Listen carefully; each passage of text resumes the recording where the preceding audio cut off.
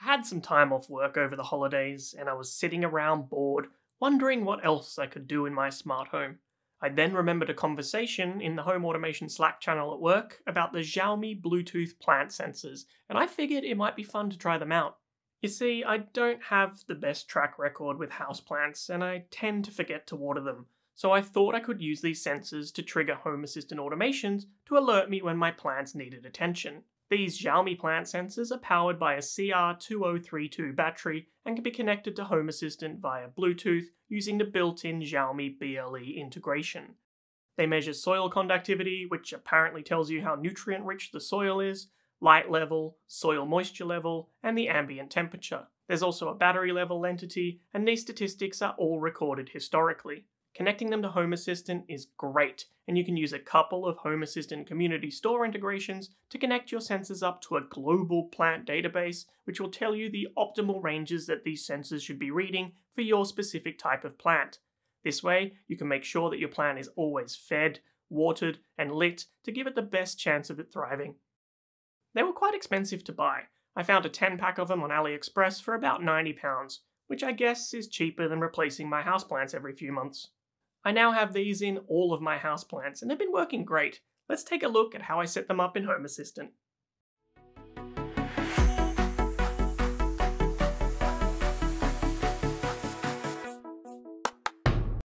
The sensors come in some pretty premium packaging and are about 14 centimeters tall and 3 centimeters wide.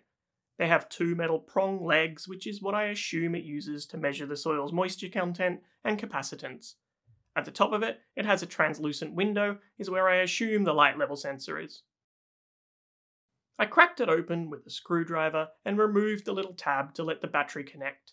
I then popped the lid back on, and it was time to place it in the soil of my plant.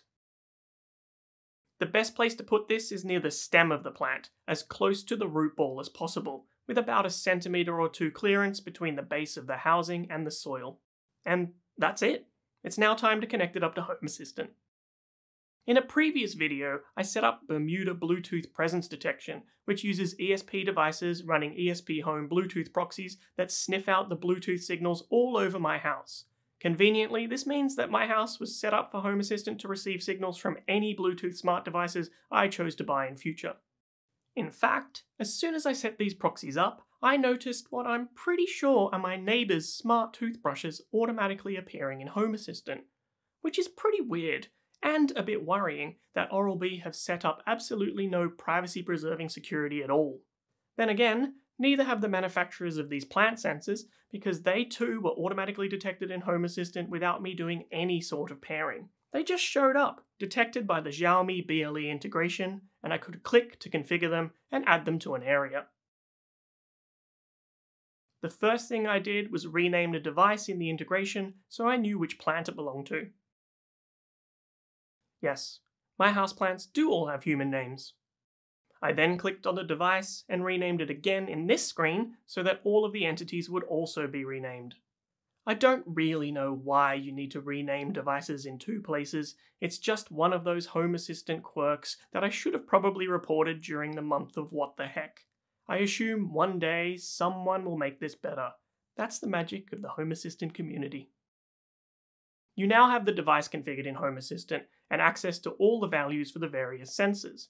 But, as I mentioned at the beginning of the video, Home Assistant can be connected up to an open source plant database called Open Plantbook, which would tell Home Assistant what moisture, nutrient, and light levels each plant should have for optimum growth. The service is managed by a community of volunteers, and you can sign up to use it for free, this will give you an API key, which you'll need to note down as we're going to need it to connect up Home Assistant. I've linked to the site in the description below. And whilst you're down there, I'd really appreciate it if you could subscribe to the channel if you like this kind of nerdy video. Subscribing really helps my dopamine levels, so go on, click it. That's hot. Next up, we're going to install a few Home Assistant community integrations, which will let us connect our Bluetooth sensors and plant database together in Home Assistant to show the current and optimal sensor levels for each of our houseplants on these really cool custom dashboard cards. You'll need to have the Home Assistant Community Store, or HACS as it is known, set up on your Home Assistant server. This gives you access to these community integrations as well as many, many more. If you need help doing that, I've got a video on my channel which explains what it is and how to set it up, and it's also linked in the description below. Down there you'll also find links to the GitHub page for the Home Assistant plant integration, which is what we're going to install next. Well, we're actually going to install a few different integrations, and the instructions that we're going to follow are listed out on that GitHub page. Firstly, we'll install the integration to connect up the Open Plantbook, and then we'll install the custom dashboard card that I showed earlier. And finally, we'll install the Home Assistant plant integration itself. It's pretty convoluted, but you only thankfully have to do it once. Just follow the steps in these instructions and you'll get there eventually. I'll take you through them now so you can see what you're in for. To install the Open Plantbook integration, you'll visit its GitHub page, copy the URL of the page to your clipboard, and then flick over to your Home Assistant server and go to HACS. Click the three dotted kebab menu in the top right hand corner and then click Custom Repositories. Paste the URL you copied for the Open Plant GitHub page into the box and choose Integration as the repository type from the drop down menu.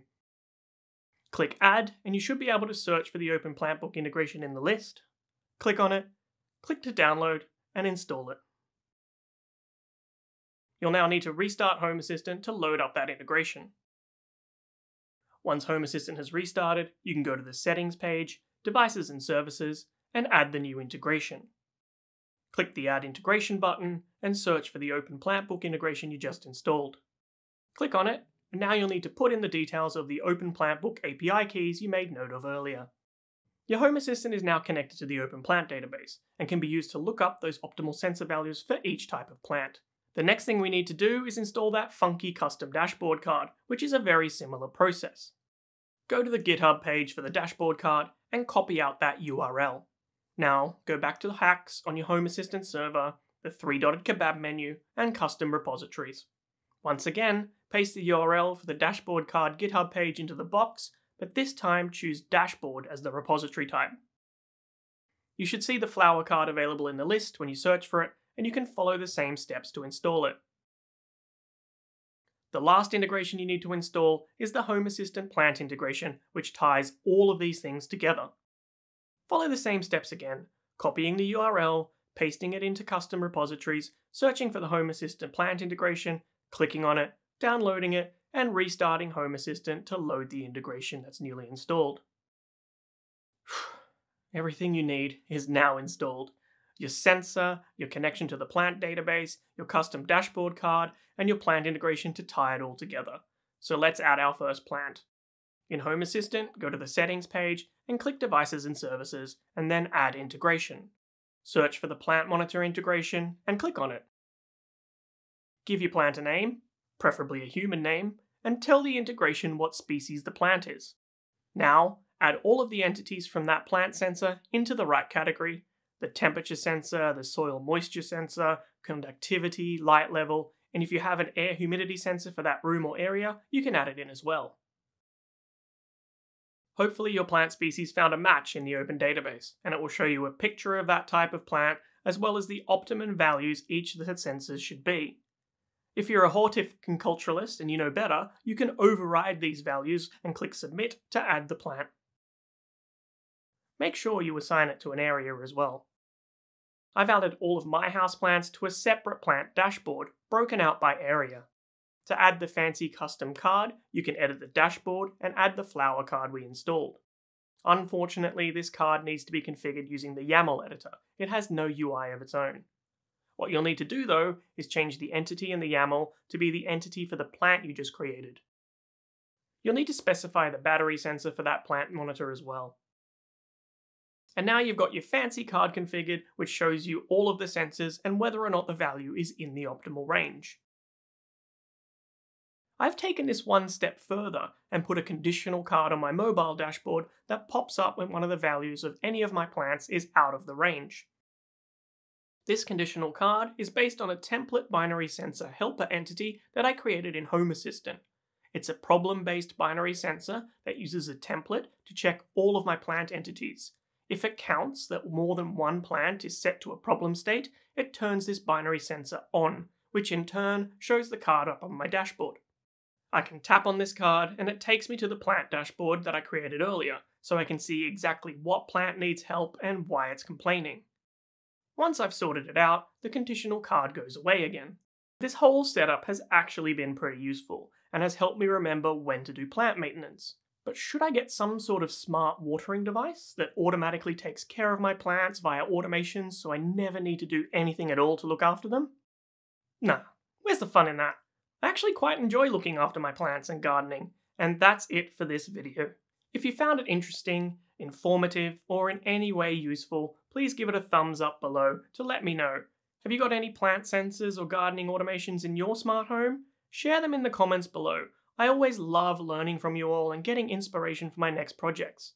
I don't really do sponsored content or accept money to promote smart home products. These plant sensors and almost everything else I've shown on my YouTube channel has been bought with my own money, and donations help me immensely with that.